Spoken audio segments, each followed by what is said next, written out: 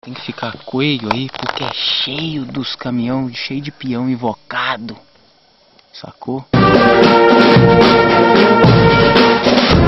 A gente está aqui na próxima serra de Itapoiacanga, próxima à Alvorada de Minas, onde está acontecendo uma extração de minério, uma pesquisa, né, para uma extração, futura extração de minério de ferro, para abrir também um minérioduto que vai levar esse minério direto para o porto de Cubatão, no Rio de Janeiro.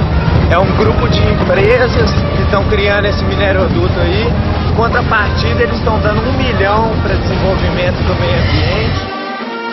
Eles falam que o minérioduto é menos, é, menos prejudicial ao meio ambiente, né? Porque não vai ter o tráfego dos caminhões.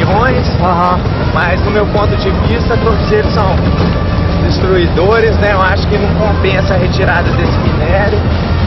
E acredito também que eles estão fazendo essa extração por causa que 5% do mineral extraído aí vai ser o ouro, né? Que vai ser apurado já fora daqui. O pessoal daí da região nem vai ver isso aí.